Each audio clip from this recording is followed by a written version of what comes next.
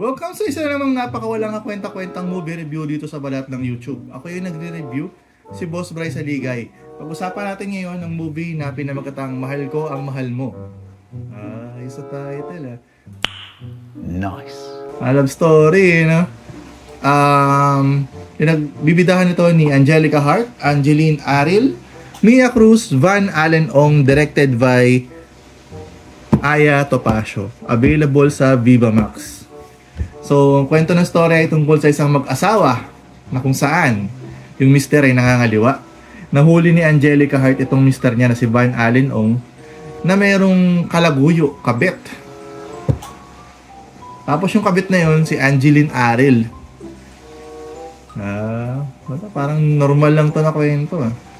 Tapos, ang iba lang dito, ah, si Angeline Aril, yung kabit ni Van Allen Ong, parang naipagtulungan siya kay Angelica Hart para mahuli pa yung isa pang kabit. Kasi babaero to talaga to si Van Allen Ong dito eh. So nahuli nil, ah, nagpagtulungan siya para makahuli pa yung kabit nung isa pang kabit. Kasi parang sabi ni Angelica Hart, may isa pang kabit tong mister ko eh. Imposibleng wala.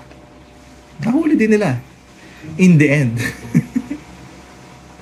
So, yung ano, ikwento yung iba pang detalye kasi hindi ko naman nagustuhan itong movie na to eh.